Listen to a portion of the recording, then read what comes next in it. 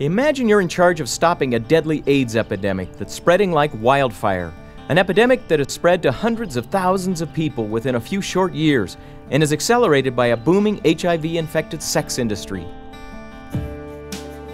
Meet Dr. Wiwat Rojanapithayakorn, one of the influence masters we studied in our research for the book Influencer The Power to Change Anything.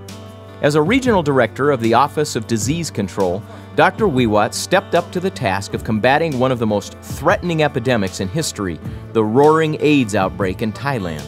After testing of sex workers, they found up to one third of them, 33%, being infected. And then one infected sex worker spread to many customers, maybe three per night, and then spread to others, and then two new sex workers who contracted disease and spread more. So you can see that this type of cycle, it makes disease spread very rapidly. Experts at the time predicted that if nothing was done, there would be over 4 million cases of HIV AIDS by the year 2000. And with no existing cures for the virus, Dr. Wiwat was left to rely on changing people's behavior to stop spread of the disease. But influencing the behavior of millions of people is no small task.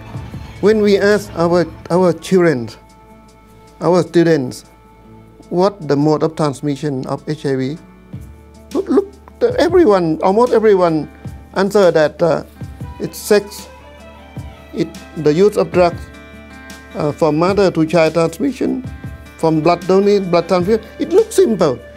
And uh, it really un, it's quite unbelievable that we know the cause of the, the, the, the, the transmission and we want to stop the disease. But uh, few countries in the world are going to be successful nowadays. Dr. Wiwat, however, has shown that it can be done.